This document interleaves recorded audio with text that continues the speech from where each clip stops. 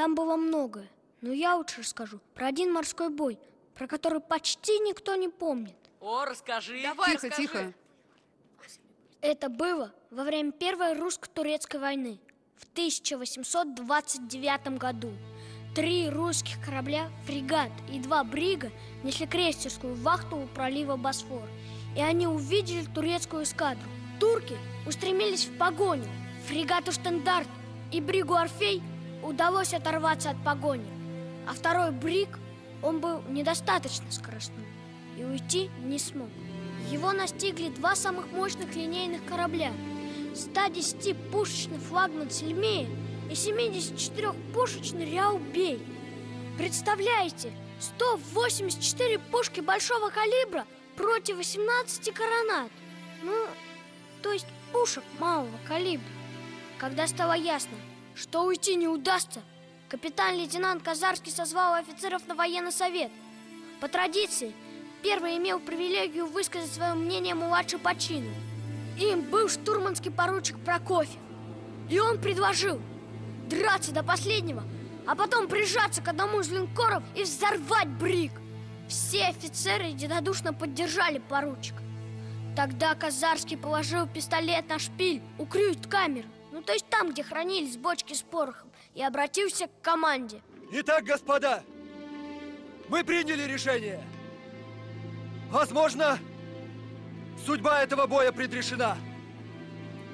Но все-таки мы сделаем то, чего ожидает от нас государь и требует честь русского флота. Приказываю, последний из офицеров, кто останется в живых, должен выстрелить из пистолета в бочку с порохом и взорвать брик. С Богом, господа! Турки заранее радовались легкой добыче.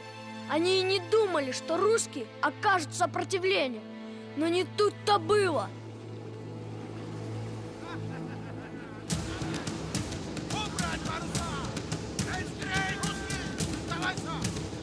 Сейчас я тебе сдамся, индюк!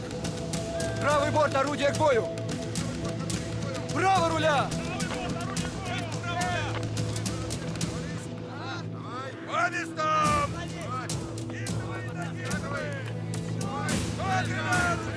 Господи, помоги. Гордыни на руки! Огонь! И вот начался бой. Он длился больше трех часов.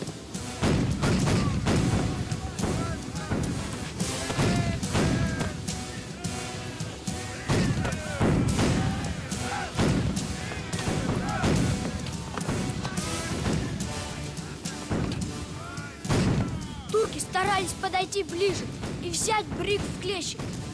Вы только представьте их залп одним бортом. Брик разнесло бы в щепки, но Меркурий умело уходил от их бортовых залпов и отстреливался изо всех сил. Право руля! На праздник ливершкоты! Ноги кашкоты! Трави шкоты! Живее, братцы, живее! Страшно. Оно умирать-то никому не охота, но ты головы не теряй.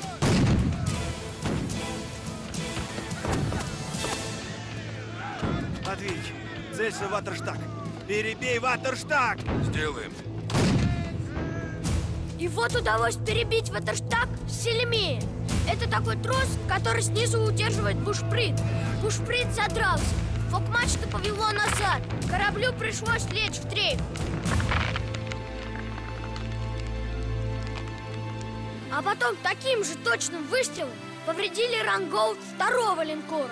Ряубей тоже потерял возможность двигаться. Оба турка вынуждены были прекратить преследование.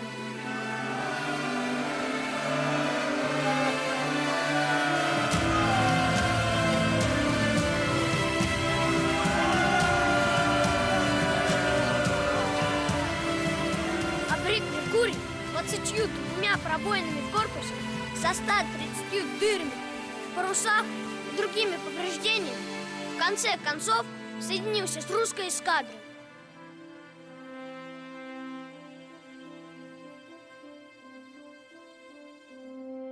Вот такой был бой. Даже турки не скрывали своего восхищения мужеством русских моряков. Имя Брига Меркурий до сих пор передается от корабля к кораблю память об этом подвиге. А в Севастополе стоит памятник, на котором написано «Назидание потомкам».